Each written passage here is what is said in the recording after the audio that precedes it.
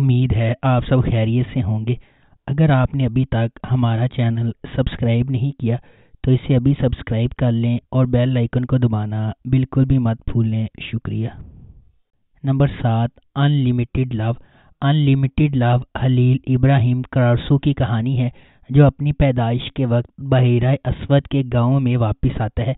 हलील को इस वक्त फरार होने पर मजबूर किया गया, जब वो सिर्फ़ पाँच साल का था। जब इसके वालिद को मुकामी क्राइम बोस रिजवान लीटो ने कत्ल कर दिया था। बीस साल बाद हलील अपनी बचपन की मोहब्बत यासमीन से शादी करने घर वापस आता है। लेकिन जब रिजवान का बेटा यासमीन को कत्ल करता है तो इसका मिशन बिल्कुल नई सिमत इख्तियार करता है। हलील एक आदमी की फौज बन जाता है, जिसका वाहद मकसद रिजवान लीटो को तबाह करना होता है। नंबर छः सफ़ायर। सीरीज़ का मरकज गुल सोए ख़ानदान पर है, जो कैपाडोशिया के सबसे नुमाया ख़ानदानों में से एक है, जिनकी इंतहाई काबिल एहतराम ज़िंदगी एक गैर मुतव सानहे के बाद तबाह हो जाती है।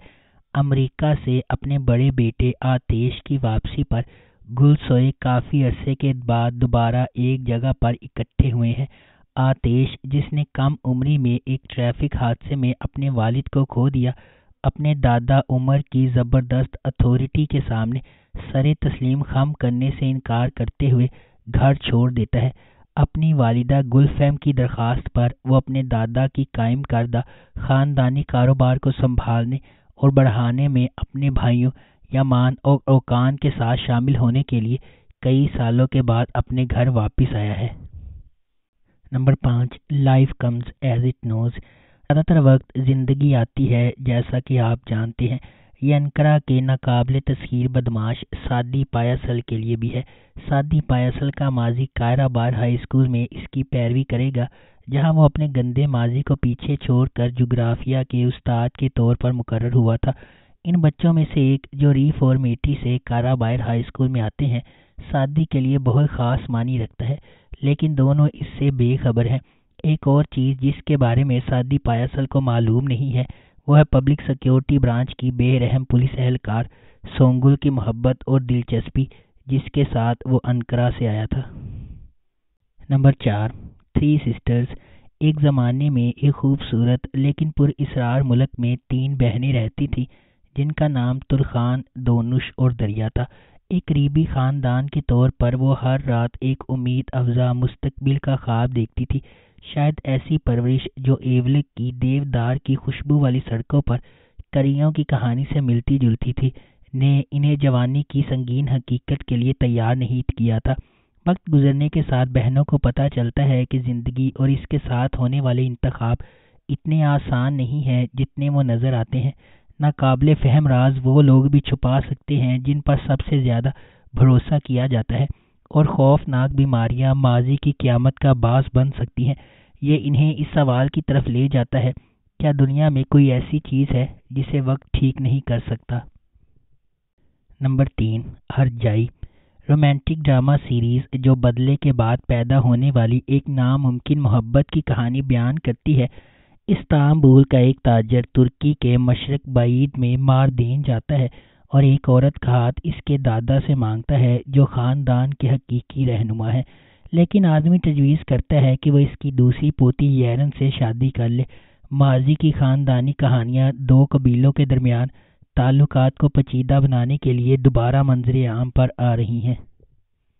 नंबर दो, black and white love. Farhat एक दर्दनाक माजी के साथ एक सर्द खून वाला हिटमैन है। वो अपने मुजरिम चचा नामी के लिए काम करता है। दूसरी तरफ़ असली एक नौजवान और मिसाली सर्जन है, जो इंसानियत की खिदमत करना चाहती है। एक दिन इनके रास्ते इस वक्त गुजरते हैं, जब असली ने एक ऐसे शख्स की मदद करने की कोशिश की, जिसे फरहत ने गोली मार दी थी। सर्जरी की वजह से असली गैर इरादी तौर पर खुद को एक अजीबो गरीब पोजीशन में डाल देती है, जो इसे अपनी जान बचाने के लिए फरहत से शादी करने पर मजबूर करती है। ताकत के खेल में फंसे हुए वो दोनों, जो एक दूसरे से इतने ही मुख्तलिफ़ हैं जितने स्याह और सफ़ेद, ताहम फरहत ने एक मासूम मोहब्बत की कहानी को जीने के लिए बहुत गंदी ज़िंदगी गुजारी है। क्या होता है जब जान बचाने वाली औरत को जान लेने वाले मर्द ने पकड़ लिया, एक पुरजोश मोहब्बत पैदा होने वाली है? नंबर एक किंग फिशर हाली सागा जेवरात की एक बड़ी सल्तनत का मालिक और कोरहान खानदान का सरबरा है। अगरचा इसका बेटा ओरहान और सबसे बड़ा पोता फवाद ज़्यादातर कारोबार चलाते हैं, फिर भी वो कंपनी में सबसे अहम फैसले करते हैं। इसका छोटा पोता फरीद, जो इसके भाई फवाद से बहुत मुख्तलिफ़ है, एक बहुत ही गैर जिम्मेदार नौजवान बैचलर है, जो अभी बैरून मुल्क से वापस आया है, जहाँ वो तालीम हासिल करने गया था। हाल इस फरीद की लापरवाही को मजीद बर्दाश्त नहीं कर सकता और वो अपनी बेवा बहू इफाकत पर पाबंदी लगाता है। कि वह इसे शादी के लिए एक अच्छी लड़की तलाश करके दे।